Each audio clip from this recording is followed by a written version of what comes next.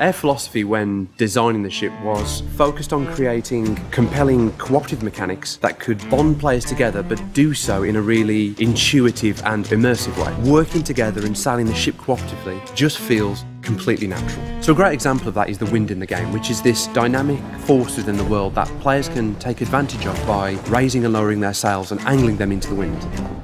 Our goal with the ship's cannons, much like the other features in the game, was to make it really immersive. So we consciously avoided things like crosshairs on screen because we wanted you to feel like you were on the deck right there in the action.